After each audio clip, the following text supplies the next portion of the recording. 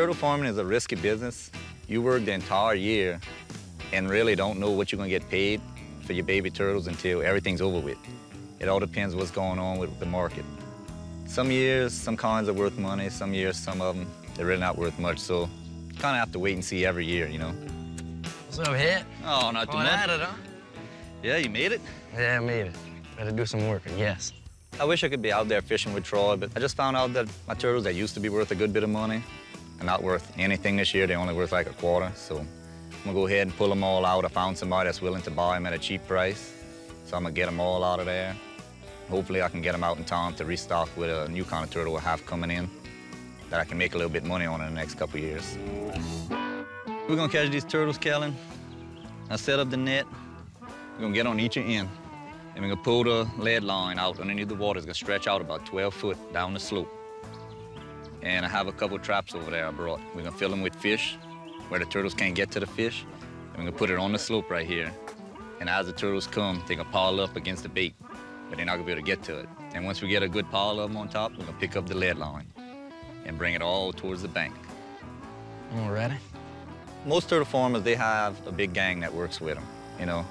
But I'm one of the smaller farmers they have around here. With just one helper helping me out, it's a big job to move turtles out of a pond. It's, it's a lot of work. It's all day long. All right, Kellen, get on the end of the net over there. Grab your end, don't let them get out the end. And roll them all towards me. So you just roll it up to the top. Take them one by one and put them in the pan. And try not to get bit. Some pretty turtles, too bad they're not worth anything anymore. Yep, that's right.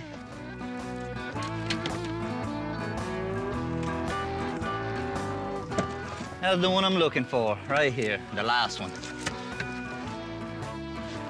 I'm glad we finished. I hear you. Let's load these up and haul them off. We're running late already. We're finally done, the truck is full. All right, that's it. Good, doing good. Sorry it took so long, sorry it All took right, so man. long. Thank you for coming by. Everything going all right? Oh yeah, oh yeah. Good, You can do something with this load of turtles? Yes, sir. You can drop it in right there? Oh yeah. Yeah, I found a home for these turtles. I have a guy that'll buy them from me. It's not the best money for these turtles, but it'll do. It's better than nothing.